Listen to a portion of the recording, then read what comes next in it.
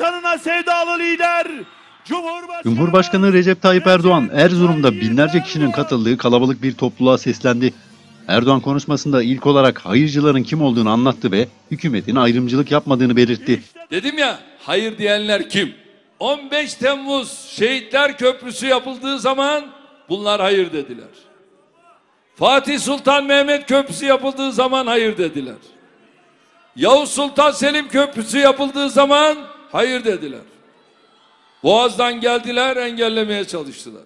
Osman Gazi Köprüsü'ne ona da hayır dediler.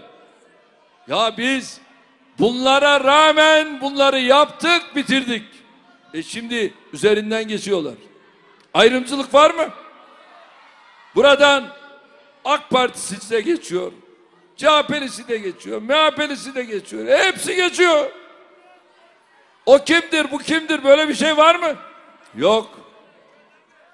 Başı açık başı örtülü böyle bir şey var mı? Yok. Hepsi Türkiye Cumhuriyeti vatandaşı. Cumhurbaşkanı Erdoğan konuşmasında 18 yaş tartışmalarına da değindi ve Erzurum'dan CHP lideri Kılıçdaroğlu'na yüklendi. Parlamentoya girmek girmemek. Kalktı onun da önünü kesmeye çalışıyor. Ya dur. Battıkça batıyorsun. Gazi Mustafa Kemal ne diyor? Gençler Cumhuriyeti ve vatanı size emanet ediyorum diyor. E ne oldu?